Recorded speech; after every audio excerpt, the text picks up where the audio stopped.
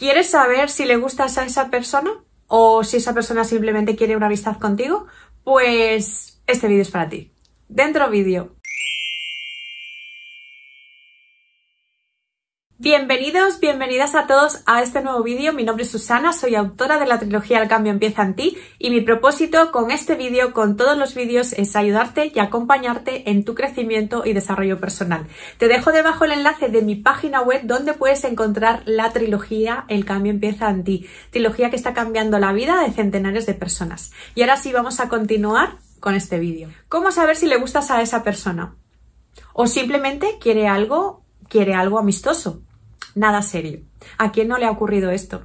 Conocer a alguien en algún área de tu vida y no saber, poco a poco vas haciendo ese roce, pero no sabes hasta dónde puede llegar. Tú sí tienes claras las intenciones, pero no sabes lo que está pensando otra persona. Estás recibiendo además señales contradictorias y estás hecha o hecho un lío. Si estás pasando por una situación similar en la que este tema te está atormentando, pues te voy a dar nueve señales de que realmente no le gustas a esa persona. Ojo, al final vamos a ver qué podemos hacer para evitarnos todo este proceso de malos entendidos y de estar en una situación en la que a nadie nos gusta. Pero antes vamos a ver estas situaciones. Número uno, si eres de las personas que inicia siempre la conversación, trata de entablar la conversación de primeras y encima propones planes, pero ves que la otra persona pues no responde como tú quieres, no te está dedicando el tiempo que mereces, pues déjame decirte que no tiene mucho interés en esa relación y quizás solamente quiera algo amistoso. Si le gustas a alguien, te lo va a hacer ver en el momento y va a aprovechar cualquier oportunidad, aunque ya tenga un plan hecho. Si no es así, ¿qué puedes hacer? Pues de momento poner tierra de por medio para evitar sufrir. Situación número 2 te habla de terceras personas.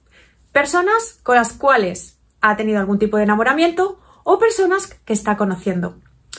Y puede ser que le gustes, pero ¿con qué intención lo hace?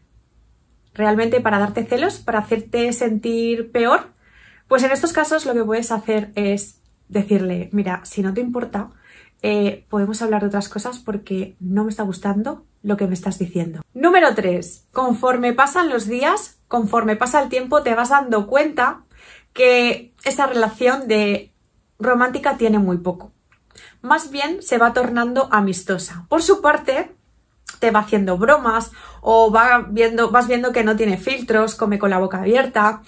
Esos son señales de que te quiere como una amistad. Número 4 cuando propones quedar, ella, esa persona sí acepta al plan, pero involucra a más personas, a terceras personas las invita o te trae a otras personas. ¿Qué puede estar indicando esto? Que sí, que le apetece estar contigo, pero como una amistad más. Número 5. Recibes cumplidos por la otra parte. Pero aquí no sabes si estás dudoso o estás dudosa, porque también hay otras señales que indican lo contrario. Lo mejor en estos casos es aceptar el cumplido sin darle mayor importancia. ¿Por qué? Porque si realmente la persona, la otra persona está interesada en ti, te lo va a demostrar con otros actos. Número 6. Cuando alguien de vuestro entorno insinúa que hay algo entre vosotros, pero él o ella se molesta y le incomoda muchísimo ese comentario. A ti también te fastidia, pero te está haciendo un favor porque te estás dando cuenta, te estás percatando gracias a eso que solamente quiere una amistad contigo. Número 7. Intenta emparejarte con otras personas. Claro, tenéis ya un grado de amistad y ve que estás solo, que estás sola y él lo intenta, lo hace con su buena intención. Entonces esto es una señal de que te quiere como amigo o como amiga, porque si no sentiría celos o ni lo plantearía. Si te resulta esta situación incómoda, puedes decírselo con una comunicación eficiente, siempre hablando desde el corazón. Ya nos quedan dos situaciones. Recuerda suscribirte si no lo has hecho aún a mi canal de YouTube para que sea este el que te avise cada vez que suba un nuevo vídeo. Y dime en los comentarios, ¿te ves reflejado, te has visto reflejado en alguna de estas situaciones? La siguiente es cuando esa persona te pide te pide favores y tú, emocionado, piensas que tiene un interés hacia ti, pero te das cuenta que solamente te pide favores pues como una amistad. que le pases una tarea, que le hagas algún favor, que le lleves a algún sitio, pero ese interés, ¿qué tipo de interés es? De amistad. Y ya por último, cuando te pide ayuda para conocer a otra persona, una amistad tuya, alguien que conoces, eso duele muchísimo. ¿Quién no ha pasado por ahí? Pero es una señal clara de que solamente te quiere como amistad, así que en realidad te está haciendo un favor. Si quieres ahorrarte todo este proceso, todo este sufrimiento, yo te voy a hablar ahora de un método, un método para comunicarte de forma eficiente. Lo recojo aquí en la trilogía El cambio empieza en ti, por eso siempre os la recomiendo. A mí me ayudó muchísimo seguir estos pasos. ¿Qué puedes hacer ante estas situaciones? O si te ha pasado para no volver a repetir todo ese proceso. Y el método es fácil. Es tan fácil como preguntar, como mostrar tu vulnerabilidad, expresar cómo te sientes desde el corazón. Sé que cuesta al principio porque nos ponemos máscaras, tenemos unas máscaras, tenemos miedo, miedo al rechazo, miedo a que nos digan que no, pero no será mejor decir o escuchar un no a tiempo que no cuando ya sea más tarde, cuando sea tarde, cuando ya haya sentimientos y sufras más. Plantéatelo así. Vamos a ver ahora qué nos proporciona el poder mantener una comunicación eficiente. Para los que ya tengáis la trilogía, la página 99 del primer tomo, pues ¿qué nos va a proporcionar? Pues ser capaces de expresar nuestras propias necesidades y expectativas a la otra persona de forma clara, directa e inofensiva. Nos cuesta mucho mostrarnos tal como somos porque tenemos muchas máscaras, porque hemos sufrido en otras relaciones, entonces nos cerramos y nos cuesta mucho. ¿Por qué? Porque tenemos miedo otra vez a sufrir.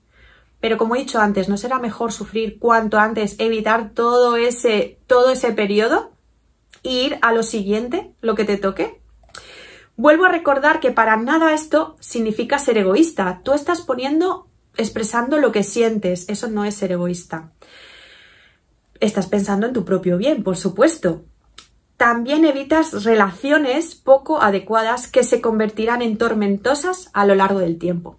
Estás acortando el tiempo. Otra ventaja de la comunicación, de practicar esta comunicación eficiente, si estás conociendo a una persona, si estás dentro de una relación, tú te estás expresando lo que sientes, estás expresando lo que sientes y ¿qué va a hacer? Pues lo primero es saber si realmente merece la pena implicarse más o menos. Aquí volvemos otra vez al mismo factor, factor tiempo. ¿Realmente donde estoy merece la pena? Otra de las ventajas es mostrar tu vulnerabilidad. Eres capaz de mostrarte tal como eres, auténtico, auténtica, libre de máscaras. Y esto no es ser más chiquitita o ser menos. No, no, no, al contrario. Es símbolo, es signo de saber realmente lo que quieres. Aparte, le estás dando a la otra oportunidad, la oportunidad a la otra persona de mostrarse también tal cual. El mensaje de este vídeo es no dejar al libre albedrío la, forma en la que nos relacionamos y menos con nuestras parejas, porque de ello va a depender nuestra felicidad. ¿No te parece realmente importante nuestra felicidad? Otro aspecto a tener en cuenta dentro de las relaciones, de pareja o de amistades. Si tus necesidades básicas no están siendo, no están siendo cubiertas, ¿realmente merece la pena estar en esa amistad? ¿Merece la pena sacrificar tu tiempo y tu energía? Medítalo. Un mensaje final. Aprende a no perder el tiempo con relaciones que te restan y céntrate en encontrar aquello que te hace sentir mejor. No pierdas el tiempo en relaciones que no suman, que te restan energía. Invierte ese tiempo en cosas que te hacen sentir mejor, en personas que te suman y en situaciones que te aportan. Recomendaciones a tener presentes. Encuentra a alguien con unas necesidades de intimidad similares a las tuyas. Muéstrate auténtico, nada de máscaras o auténtica. Y hazte esta pregunta. ¿Es capaz esa persona de proporcionarme lo que necesito para ser feliz? ¿Y eres tú capaz de proporcionarle a esa persona lo que necesita para ser feliz? Y ahora sí hemos finalizado. Espero y deseo que hayas disfrutado tanto como yo con este vídeo.